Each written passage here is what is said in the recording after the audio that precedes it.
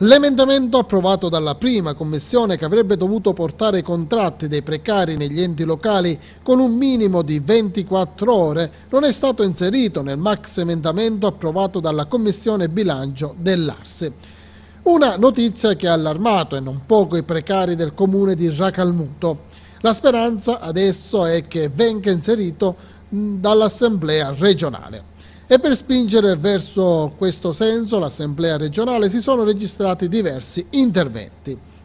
I primi a lanciare l'allarme, i consiglieri di Racalmuto prima di tutto, che esprimono tutto il loro disappunto per la mancata approvazione, avendo sollecitato sino alla fine molti componenti della Commissione per il suo inserimento nel max emendamento. Noi non demordiamo, affermano, e sin da subito abbiamo contattato tutti i gruppi politici e i singoli deputati regionali per far votare l'emendamento direttamente in aula. Poi il sindaco Emilio Messana, la giunta e il consiglio comunale, tramite un documento approvato all'unanimità, rivolgono un appello alle istituzioni regionali affinché modifichino la legge regionale che impone nei comuni in riequilibrio finanziario la proroga dei contratti con riferimento alle ore dei contratti in corso al 31-12-2014 quando a Racalmuto i rapporti erano a 18 ore.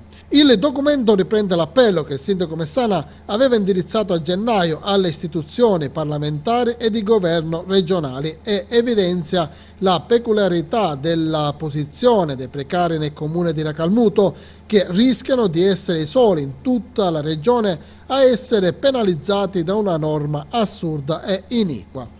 Abbiamo inoltrato l'appello votato dal Consiglio Comunale al Presidente dell'Arsi Giovanni Ardizzone, afferma il Sindaco Messana, e siamo impegnati affinché possa trovare la giusta attenzione. Ad intervenire anche una precaria di Racalmuto, Yolanda Salemi, che in una lunga nota rappresenta tutto lo sconforto dei precari per questa notizia, ma anche la rabbia di sentirsi presi in giro dai politici che hanno rassicurato una soluzione positiva, una presa in giro che dura 25 anni.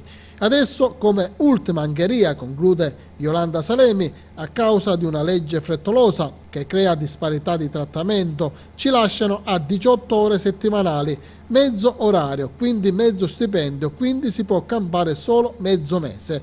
Noi siamo l'ultima generazione che vive a Racalmuto. Pochi avranno la possibilità di vivere e lavorare in questo paese che è destinato a chiudere.